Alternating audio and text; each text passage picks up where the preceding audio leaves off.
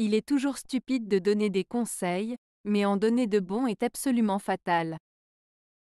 Oscar Wilde Cette citation signifie que donner des conseils peut être considéré comme stupide, car les gens ont souvent leur propre manière de faire les choses, et ils ne suivront peut-être pas vos conseils. Cependant, donner de bons conseils peut être encore plus dangereux car les gens peuvent suivre ces conseils à la lettre, même si cela peut être préjudiciable pour eux. En somme, cette citation souligne l'importance de considérer les conséquences potentielles de nos conseils avant de les donner.